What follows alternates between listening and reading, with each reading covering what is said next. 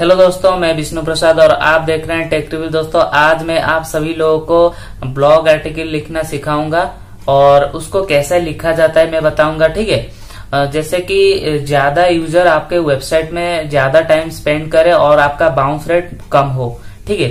तो सबसे पहले आपको क्या करना है, आपको फॉर्मेट चूज़ करना है। जैसे कि पहले आपको क्या करना है इंट्रोडक्शन देना है और उसके बाद आपका जो मेन जो बॉडी पार्ट रहता है, जहाँ पे ज़्यादा लिखा जाता है जो बीच में जो लिखा जाता है, वो होता है आपका मेन थीम आप क्या मतलब आपका आर्टिकल कौन सा रिगार्डिंग है, उसके रिगार्डिंग आपको लिखना है, उसके बाद लास्ट में आता है आपका कंक्लूजन ठीक है?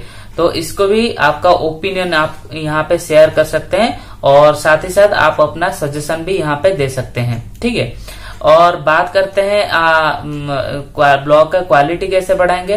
तो सबसे पहले ब्लॉग क्वालिटी बढ़ाने के लिए आपको इजी लैंग्वेज यूज़ करना है और ज़्यादा कॉम्प्लिकेट नहीं करना है, क्योंकि कॉम्प्लिकेटेड ज़्यादा करोगे, ज़्यादा डिफ़िकल्ट वर्ड लिखोगे तो बहुत सारे लोगों को मतलब पढ़ने में दिक्कत आएगी, ठीक है?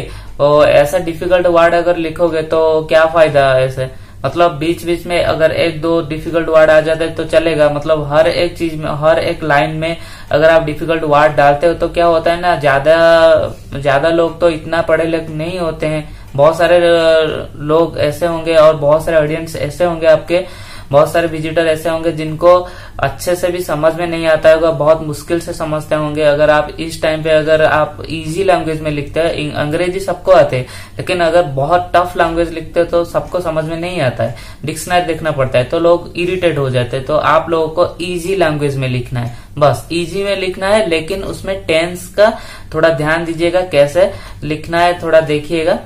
पास्ट टेंस में है या प्रेजेंट टेंस में रखना चाहिए या फ्यूचर में लिखना चाहिए, क्या लिखना चाहिए, कैसे करना है थोड़ा सा इसको ध्यान दे के आपको आर्टिकल लिखना है। ठीक है? और आपका कंटेंट यूनिक होना चाहिए, कहीं पे आप कॉपी पेस्ट नहीं किए होंगे तो अच्छा रहेंगे। अगर आप ज़्यादा आर्टिकल लिखते हो और कॉपी पेस्ट करके लिखते हो तो वो कॉपीराइट स्ट्राइक भी आ सकता है। इसका भी आपको ध्यान देना है, ठीक है?